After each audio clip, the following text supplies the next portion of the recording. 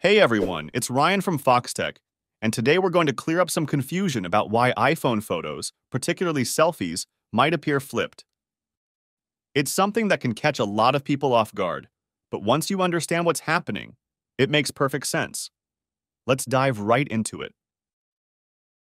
So, when you take a selfie with your iPhone's front-facing camera, what you see in the viewfinder is a mirrored image. This is done intentionally. It's how you're used to seeing yourself in the mirror every day. The iPhone replicates that view to make you more comfortable while taking a selfie because it's what you're familiar with. But here's where the confusion comes in. After you take the photo, the iPhone flips the image. It flips the selfie to show how others would see you, rather than how you see yourself in the mirror. So the final image ends up being reversed from what you originally saw in the viewfinder, and that can feel a bit strange at first.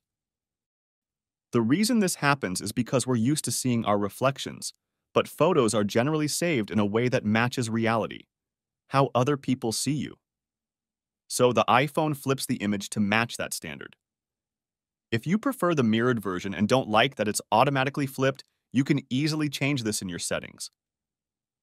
Just open up the Settings app, go to the Camera section, and under the Composition settings, you'll see an option to Mirror Front Camera. Toggle that on, and your selfies will stay exactly as you see them in the viewfinder, without flipping.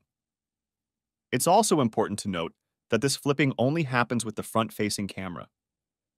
The rear camera doesn't mirror or flip anything, it captures the scene exactly as it is, as you'd expect. That's all for today.